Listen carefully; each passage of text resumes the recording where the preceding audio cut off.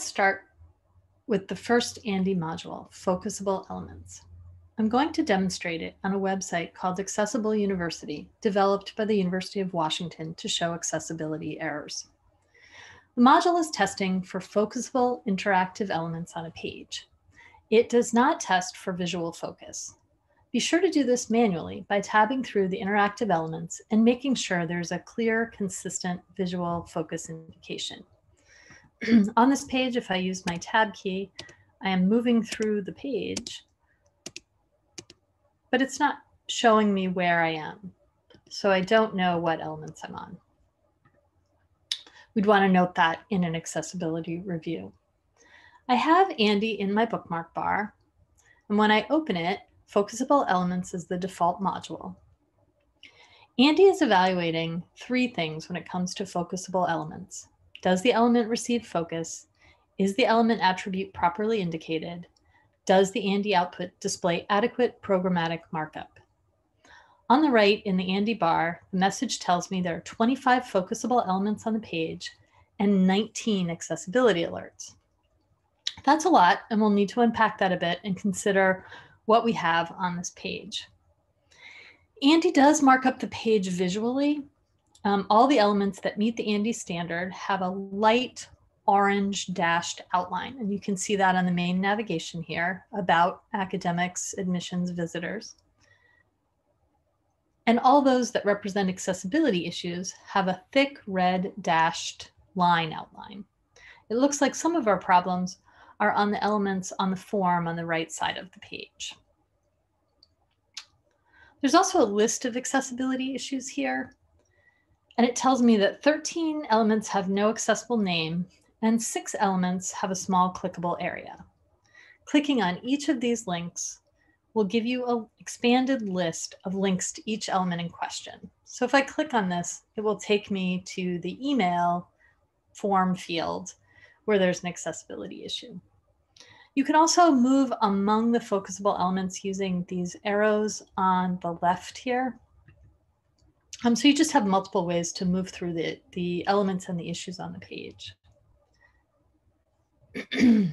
Let's look at a couple of elements. The first interactive element ANDI identifies is the about element in the navigation.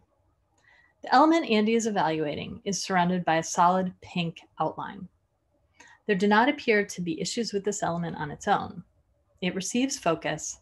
The element is tagged as a link.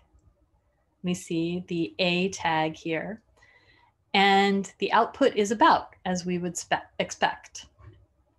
That's what the label on this navigation is. It's reading about. So there don't appear to be problems here.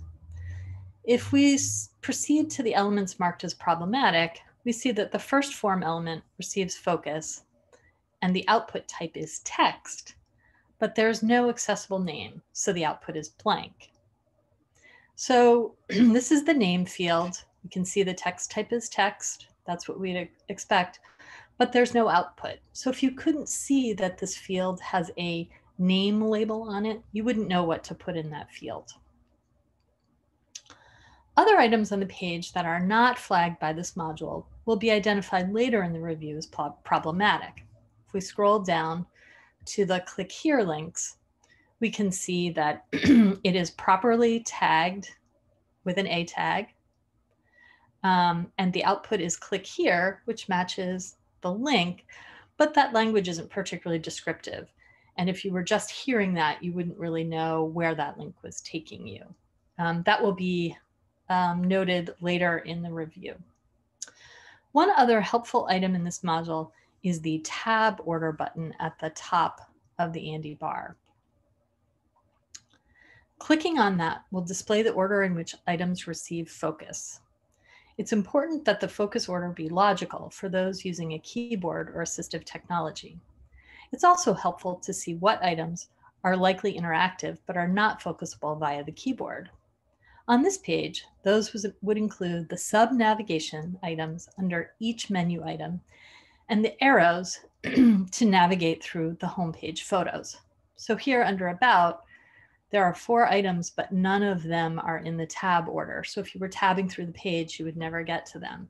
And these arrows here to the right and left of the photo are also not in the tab order. So using a keyboard, you wouldn't be able to move through these photos on a page. Um, that's a quick tour of the Focusable Elements ANDI module. Next, we'll look at the Graphics and Images module.